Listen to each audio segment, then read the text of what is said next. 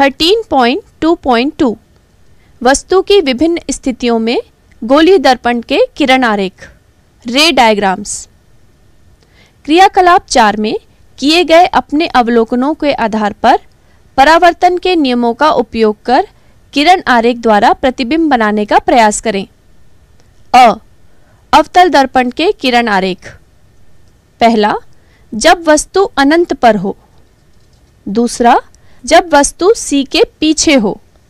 तीसरा, जब वस्तु C पर हो। चौथा, जब वस्तु F व C के बीच हो। पांचवा, जब वस्तु F पर हो। छठवा, जब वस्तु F व दर्पण के बीच हो। ब, उत्तल दर्पण द्वारा बनने वाले प्रतिबिंब के किरण आरेख उत्तल दर्पण द्वारा बने प्रतिबिंब का अध्ययन करने के लिए हम वस्तु की दो स्थितियों के बारे में विचार करेंगे। पहली स्थिति में वस्तु अनंत दूरी पर है, तथा दूसरी स्थिति में वस्तु दर्पण से एक निश्चित दूरी पर है।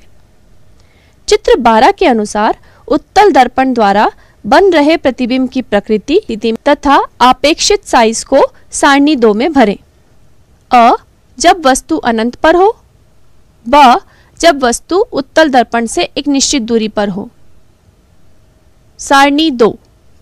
अवतल दर्पण में परावर्तित किरणें वास्तविक रूप से मिलती हैं, जबकि उत्तल दर्पण में परावर्तित किरणें किसी बिंदु से आती हुई प्रतीत होती हैं या आभासी रूप से मिलती हुई प्रतीत होती हैं।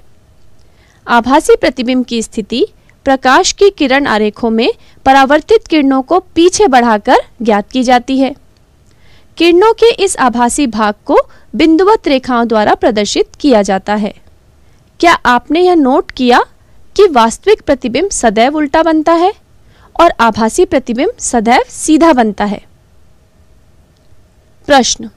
बताइए कि आप समतल, अवतल तथा उत्तल दर्पणों की पहचान स्पर्श करके व प्रतिबिंब देखकर किस प्रकार कर सकते हैं?